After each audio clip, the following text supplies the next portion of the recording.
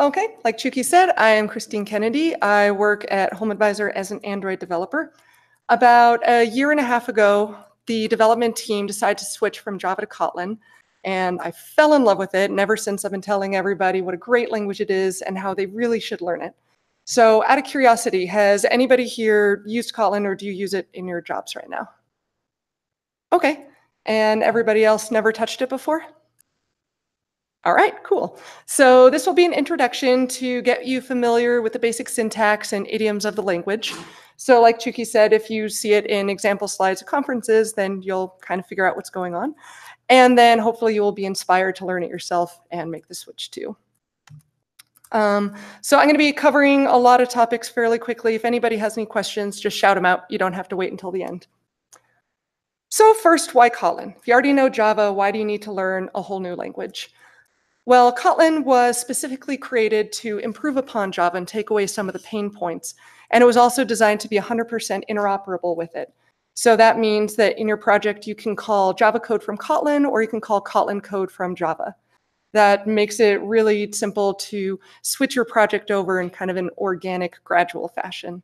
So at HomeAdvisor, all of our new development is done in Kotlin, but we still have a lot of legacy code in Java, and it's pretty seamless to have them in the same project. Um, also, Kotlin looks a lot like Java. It's pretty familiar, but it's a lot shorter and more concise and cleaner, which is very nice. It does away with a lot of the boilerplate code from Java. And on average, they say that Kotlin code is actually has 40% fewer lines than Java does, which is a really huge difference. And that makes it more fun to write because you can get to the point and you don't have to worry about writing a lot of overhead. And it also makes it a lot easier to read and understand because you can see exactly what it's doing. And a lot of the shortcuts are very intuitive and easy to understand. Kotlin is also more robust than Java, and not just because fewer lines of code means that you have fewer opportunities for bugs, although that is also a factor. But Kotlin enforces null safety in a way that actually almost eliminates null pointer exceptions, which you know you get a lot of in Java. Um, it also encourages immutability, which is good for thread safety and just the general stability of your code.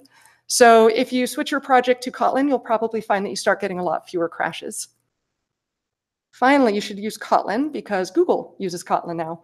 At Google I/O this year, they announced that Kotlin is now the preferred language for Android development. And we're turning the corner. Just over 50% of Android developers are now using Kotlin, and that number is definitely growing. There was a uh, Stack Overflow survey that said Kotlin is the fourth most loved language and the fifth most wanted, and it definitely beat Java in both of those categories. So if you are looking to go into Android development or you're already there, Kotlin kind of used to be the optional language, but it's slowly becoming less optional and kind of the new standard. So it is definitely time to learn it. And it's not that hard and it's really fun. So we will start with the basics of what Kotlin looks like. With variable types in Kotlin, all variable types are objects. There are no primitives like there are in Java. So you still have your ints and longs and booleans, but they're objects.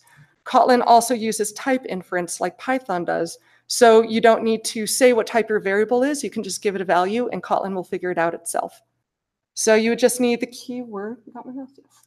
If you have the keyword var here, then you just need the variable name and give it the value. And Kotlin will infer double quotes, this is a string. If you want to explicitly say what your variable type will be, then you put it after the variable name, colon, and then the type, and then you can give it a value.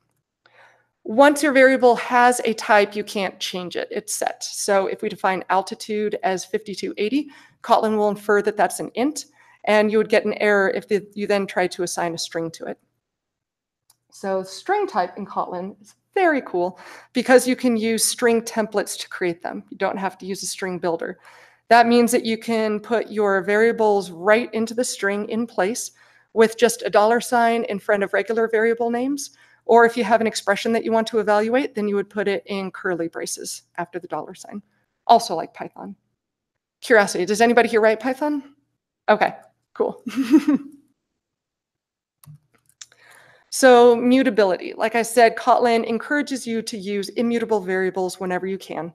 If you do want to have a mutable variable, then you would use the var keyword, and then you can change the value. If you want to have an immutable variable, then you use val, and you cannot change it after that. So it's essentially like using the final keyword in Java, except just a little tidier. Uh, collections are also immutable by default. So if you create a list with the list of operator here, that will be an immutable list of four values that you cannot add to or remove from. If you want a list that you can change the contents of, then you have to explicitly say that you want a mutable list. So just a note, it may look strange that you have a mutable list in a val, but val just means that you can't assign a new object to the variable. You can still make changes to the object that you do have there. So collections in Kotlin are very easy and intuitive.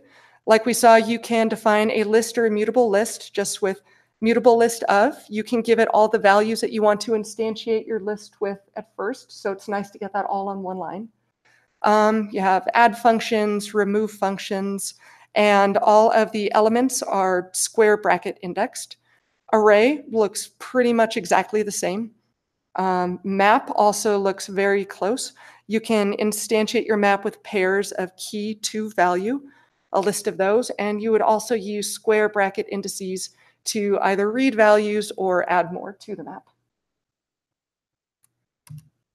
So a very cool part of Kotlin that I love are the collection methods. You can do a lot of powerful functionality in a very small amount of code.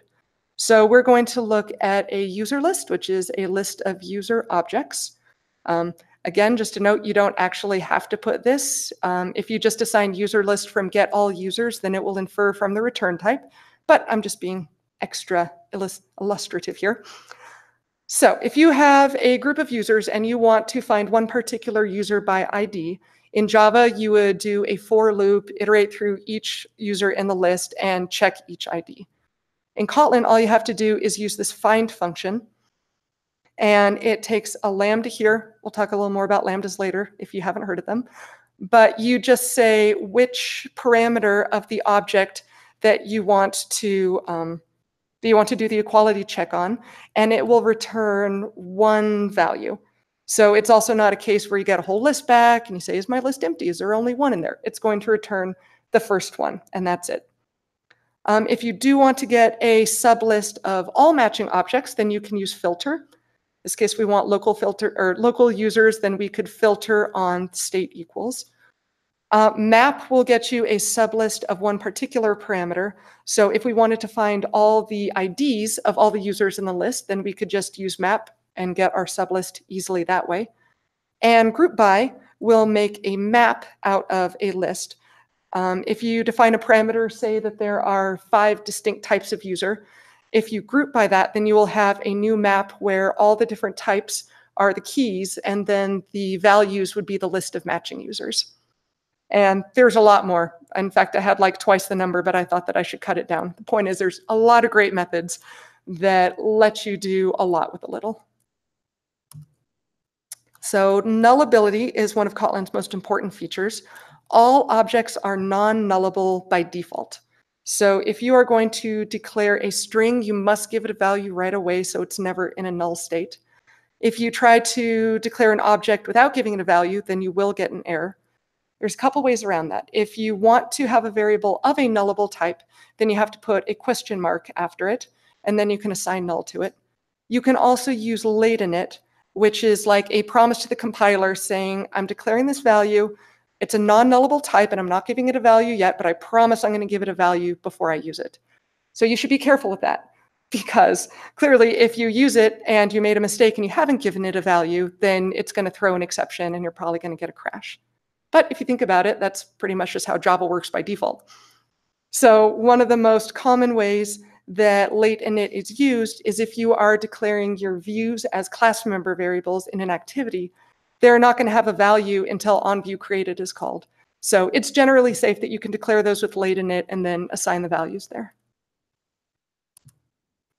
So for null safety, if you do have a nullable variable, then you have to tell Kotlin how you want to handle it if it is null. So one way is to use the null safe operator, which is the question mark after the object. And this says, if my cat is not null, then call meow. And if it is null, then skip the line and just move on. That's generally the best way to handle nulls. You can also use what's called the double bang operator. That says that if my cat is null, then throw an exception. Bad idea unless you are explicitly wanting to throw the exception and catching it. But there's not usually a lot of good reasons to use the double bang. It's best practice to use the question mark because that's what makes your code safe and not going to crash. So sometimes you don't just want to skip to the next line if you have a null. You want to um, you want to declare some alternate or backup behavior, and that's when you use the Elvis operator. So you may have heard of the Elvis operator before. It's the question mark with the colon. It's supposed to look like Elvis with a little hair swoosh. So I know it's hard to see. so basically, the Elvis operator is in if not null, do this, else do that. So in this case, we want to assign a value to name. We're saying if my cat is not null, then use its name, else use an empty string instead. You can also use it for calling functions, not just assigning values. In this case, if my cat is not null, then meow, but if it is null, then println couldn't meow. So you can use that to hopefully cover all the bases that you need for if nulls happen. Uh, control flow looks very similar as it does in Java. Um, one thing that's kind of nice is the ternary operator. You don't have to use question marks and colons anymore. You can use if and else. So that makes a very readable ternary. Um, for loops look a lot the same. You have your for value in list. But one of the cool things is that you have a lot more ways to define how you're going to loop. Um, I really love the until. If you say zero until mylist.size, that's going to do it from zero to size minus one, which is nice because you don't like to write the minus one every time. Um, you can also have a decrementing loop with down to. You can define your own range with min dot dot max. Um, you can define a step if you want to go by twos or tens or whatever. We also have a dot or a with index function that will give you both the index and the value as you iterate through the loop. So that can be handy if you want to keep track of both. And it's also very easy to iterate through a map. You just say for key and value, and that will iterate through all the pairs for you. Yes? If you wanted to combine down to with step, do you put down to first? I think that you would put the step after the down to. So the when is like the switch statement on steroids. Switch is a little bit limited in that you can only use a primitive or string as the argument, and you can only use equality as the terms to match it. In Kotlin, you can use any kind of object as your parameter, and you can use any kind of expression to evaluate your match, and you can also use it to assign values. So in this case, we have an attack roll. We want to see what our outcome is going to be. So we can check if our object here is one certain value, if it's in a range, if it's of a certain type. This is really good for smart casting. So if you have an object like an exception that you don't know what kind it is, but you want to take different actions on it based on what it is, then it's just really easy to say if client exception, do this, if server exception, do that. Except not if, when. Um, we also have else, which is the default case. You don't always need to have this, but since we're using the when to assign a value, then we need our options to be exhaustive. And also, you don't even need an object at all to use when. If you keep it blank, then you can just put any expression that you want in here to evaluate and then take action. So this is good if you have a lot of if else's and kind of a complicated tree, then you can consolidate it into one when and have it hopefully a bit more readable. Cat break. I thought my slides were kind of dry. Chuki was kind enough to give me some pictures of her cats. We have Tyrion and Arya, and they're very adorable. All right, on to the dry stuff. Classes look fairly similar as they do in Java, but there are some significant differences. Um, first, I have this open keyword because all classes in Kotlin are final by default. So if you ever want to extend your class or mock it in a unit test, then you have to explicitly say that it's open. Then we have the class keyword and the class name. And then we have these parameters here, which is actually the constructor. In Kotlin, you can define multiple constructors, and you can declare one of them as the primary constructor, which is essentially just putting um, variables in here that will be assigned to your class as member variables. Now, there's no body for the primary constructor, but what you can use instead is this init block. The init is going to be executed first thing when the class is instantiated, right after these member variables are instantiated too. So if you have a val of a non-nullable type, you don't even have to give it a value at that point. As long as you assign a value in the init, then the compiler knows that you're good. So if you want to define other constructors, you do it with the constructor keyword here. You can also give it parameters. And then after the colon, you call this to call the primary constructor with whatever parameters that takes. And any secondary constructors, their contents will be executed after all of the init blocks. You can have multiple init blocks that will execute sequentially. So back up to the top, we have parent, which is a superclass, and then iBook, which is an interface. There's no extends or implements keyword. Whether it's a class or an interface, you just put it in a comma separated list after this colon. Um, and if you have a superclass, then any um, any parameters that the constructor takes, you would put there. If it doesn't take any parameters, then you would just have empty parentheses.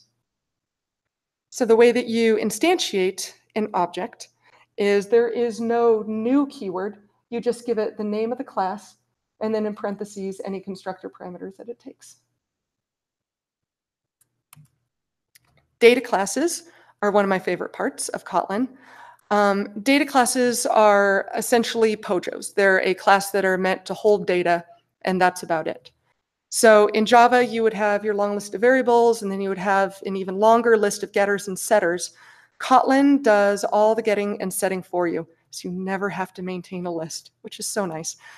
Um, basically, all you have to do is put a list of all the member variables that you want in what's essentially the primary constructor. Make sure that you use the data keyword, and then you get some freebies out of this. Not only do you get all your getters and setters, the equals function will be overwritten to check the equality of all the variables, which is usually something that you would have to override yourself. Um, it overrides hash code in the same way. It will override toString so that you get a nice string that prints out the values of all the variables in the class. And you don't just get the name of the class and the hash code, which tells you nothing. So you also get a copy function, which we can see in the example. If we instantiate our data class, you do have to give it all the values up front. You can't call it with empty parentheses and decide what your values are, are later. It comes all at once. Then you can use the copy function to make a new copy of that object where all the values are the same, except for whatever parameter you say that you want to be different. So this would give us a new book called The Grapes of Wrath, but it's also by John Steinbeck, also has zero pages read. Yes? How do you limit access like a setter? Um, you can do a custom setter. I've actually never tried to limit access before, but I'm not sure. But you may be able to override the setter to limit it however you want. Um, so, wh- whoops, sorry.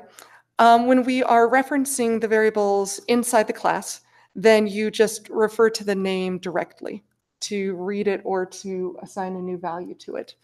And that includes even if you have a Java class that has a private variable with a public getter, if you're calling it in your Kotlin code, then you are still going to refer to it directly by name because Kotlin takes care of that for you. And you can use the get function if you want. It's not going to break, but Android Studio is going to say you should use the property access syntax instead. Yes. Can you- Mhm. Um, see the uh, name and author are vals and red is var, is it, red is the only one that gets the setter? You're right. Yes, it is. So, yeah, I think, okay, I think that my code still compiles, but yes, you're right. Yeah, because you're doing a copy. yes, yep. You need to define those variables in the constructor, I would assume. What's that? You Sorry. can define those variables in the constructor. You mean like with default arguments? What do you mean by define? With, yeah, val name being a string, set it probably in the constructor. Yeah, it's because the data class is just essentially one big constructor, which is probably why that you need to give all your values up front. This is really good for JSON API calls that you would just, the result would go directly into the data class. So Kotlin does not have static keyword. If you want to have a static variable or method, then you have to use what's called a companion object. Um, you just declare a companion object inside your class. Anything in here, you will be able to refer to as if it were static by giving the class name and then referring to it directly.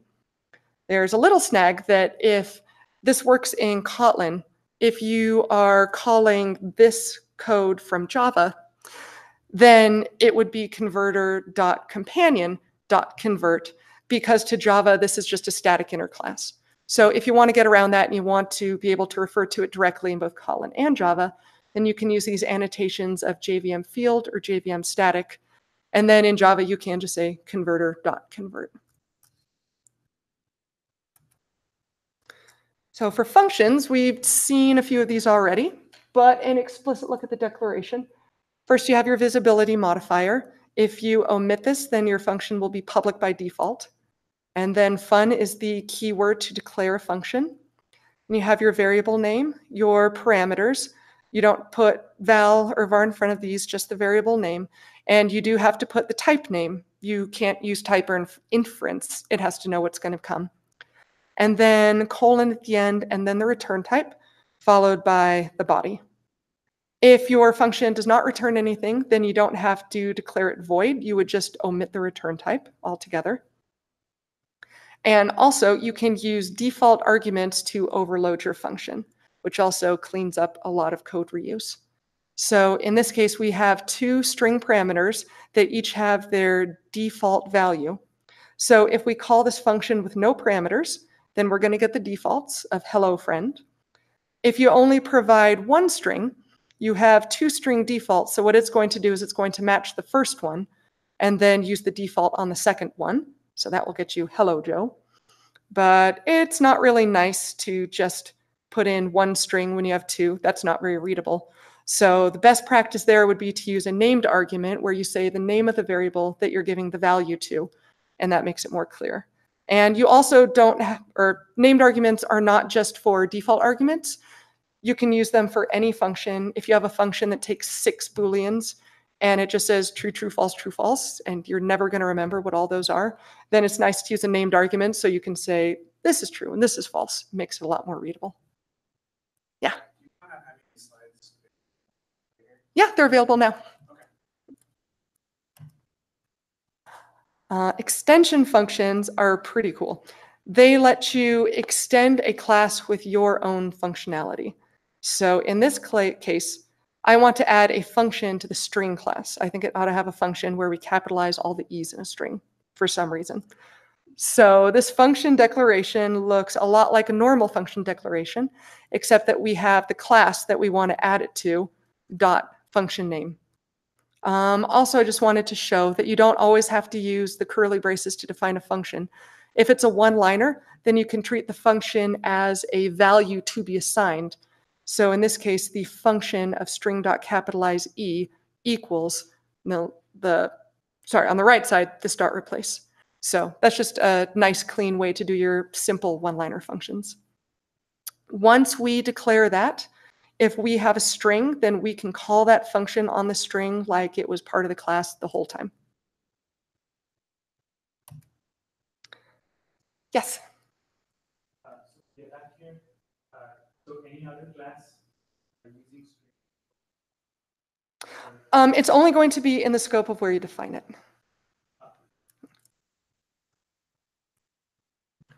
So Lambda functions, just out of curiosity, how many people are familiar with Lambdas?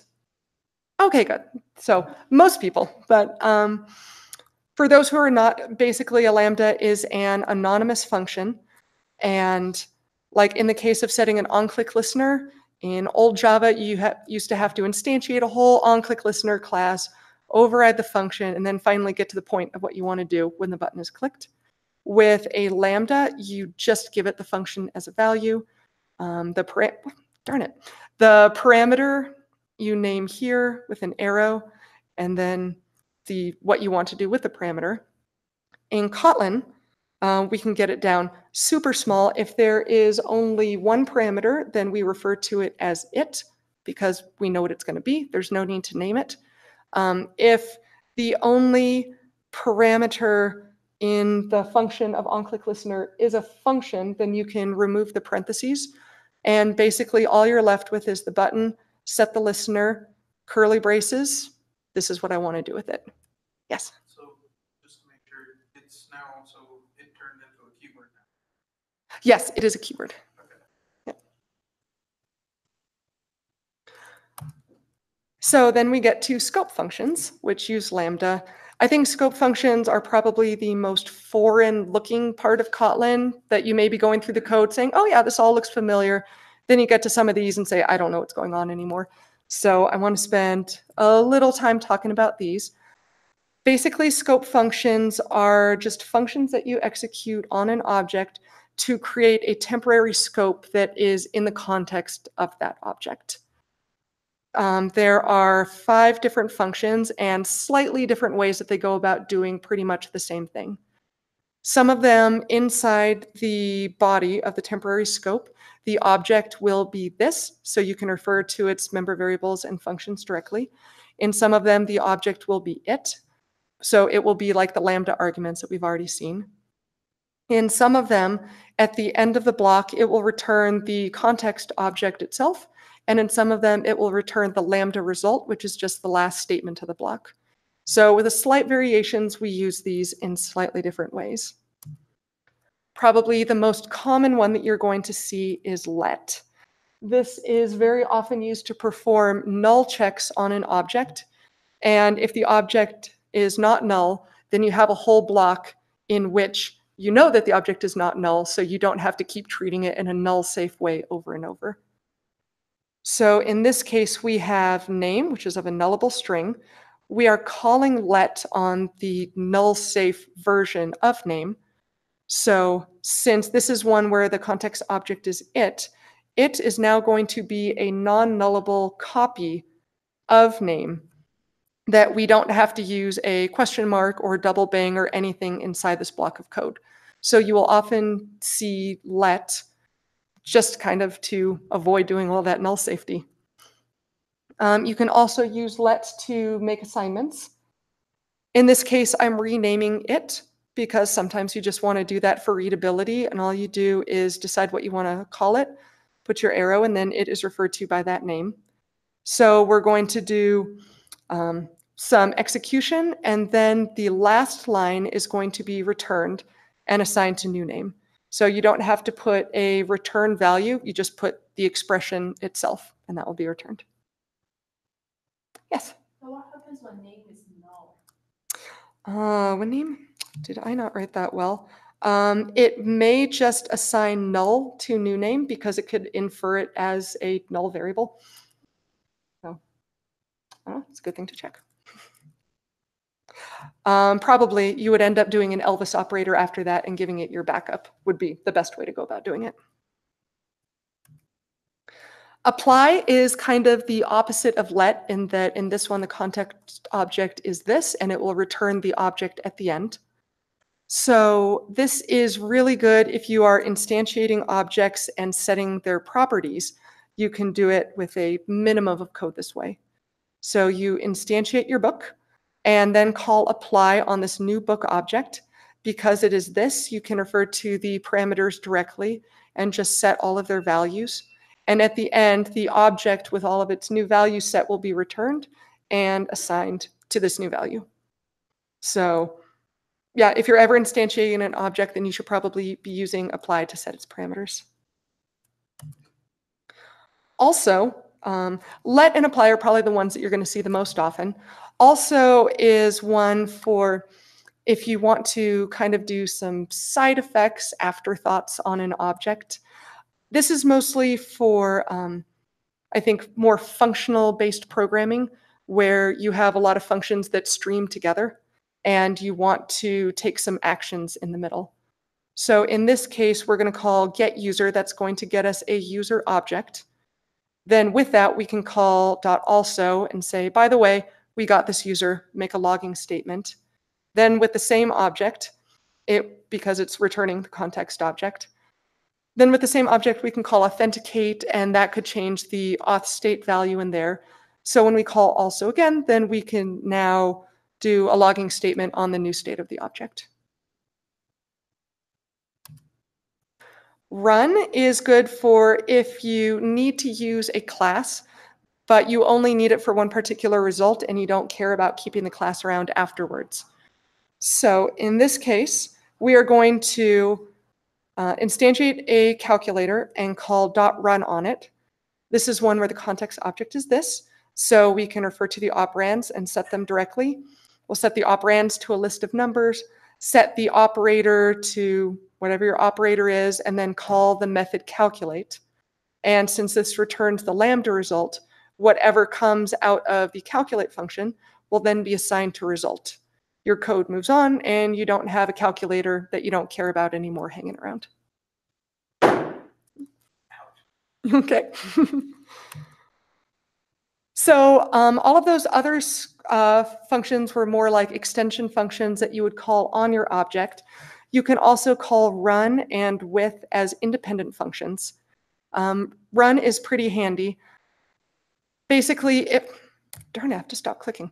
Um, if you want to call a method on an object, but you don't know which object you want to call it on, then you can use run to do some logic, return an object. In this case, we have a couple views, and we want to see if the user is logged in or not to see which view that we want to show. So this run block will return the view to then have the show method called on it. Um, with is like apply, where you pass in an object, and then everything inside is going to be um, in the context of that object as this. So if you have one object that you want to perform a lot of methods on, then you can just put them in a with block and say, let's start the ignition, turn on the radio, do all the other stuff with the car. All right, we got through that quicker than I wanted to, or quicker than I'd anticipated rather. So I will, I had a slide on coroutines that I wasn't gonna talk about because I didn't think there would be enough time. Coroutines are not basic, they're not really intro to Kotlin, but they're super cool and they are probably a reason to learn Kotlin. Basically, they will let you run asynchronous code in a synchronous fashion without blocking the UI thread. So you could just say authenticate user and then print result was the user authenticated or not. And it will get its own thread, do its thing, come back onto the main thread, and then continue on seamlessly. People are saying that it's going to take over RxJava. It seems like we're always looking for a new way to do asynchronous code because we're never happy with how it works. And I think that this could be the one that actually does it. So once you get past your intro to Kotlin, you should look into coroutines. Now, hopefully you are feeling a bit more familiar with Kotlin syntax. Hopefully it looks familiar and you think that you can figure the code samples out when you see them. So the next step would be to start writing the code yourself. I would recommend going into Android Studio, taking a project that you already have in Java and just choosing one file to convert from Java to Kotlin. Android Studio will do it for you. It does a pretty good job. It gets you like 95% of the way there. There may be a few errors that you need to fix. There will be a lot of double bangs because it doesn't know what you want to do with your null. So you should go back and say what you want to do or refactor so that you don't have nullable variables. You can make everything non-nullable. But that's a real easy way to kind of slide easily into Kotlin. And as for documentation resources, you don't need to do anything more than the official Kotlin website. It has fantastic documentation, great resources. Anything that you're looking for, you'll find it there. They also have an online playground where you can just kind of mess around and see what Kotlin does. Um, scope functions, I just found this to be a very useful link if you're still having trouble telling them apart or you don't know when you should use which one. This has some nice visual aids. And if you're the kind of person who likes a textbook, then Kotlin in Action is a great book, and I would recommend that one. So, any questions? Yeah. Is there, has there been any performance dis- dis- difference between Java Um, I think that they were pretty careful to make Kotlin perform as well as Java does. And I haven't noticed any differences in my project. They should perform the same. Oh, yeah. They're technically going to the same virtual machine as bytecode will be ultimately JVM bytecode. Yes, very good point. They're both JVM languages. So it should be pretty much All right. Oh, yeah. So, uh, it seemed, uh, it seemed like sometime when you're changing things. Okay. That's like chains like this one or. Usually if you're doing computation, you want to do filter before you do the other calculation. You don't want to, um, you know, concatenate onto something when you're getting values. Yeah. Um, So, so do you usually filter first? Uh, How, how would you know if you've done it in the wrong order? Like, Would you notice the slowdown? Unless you're dealing with a lot of data, I don't think you would notice the slowdown. If you want to make sure you're doing it in the most efficient way, I would probably just go through each step and kind of say what's going in and what's coming out and see whatever you need to get it the smallest, do that first. And yeah, then just maybe see like, well, what would happen if I did this one first? I think it's probably more an art than a science. You could just kind of see what your needs are. Uh, seems like also and with were quite similar. Just a chain of actions. Is there Let's look at the certain reason you one or the other, or just readability? Uh, look at the cheat sheet. Um, also is going to, let's see, they both return the context object itself. It's just whether you use this or it. I'd say at that point it's personal preference. If it's more efficient to have it as this, then then I would use this. Because these are all very similar. It's just slight modifications so you can get exactly the one that you want.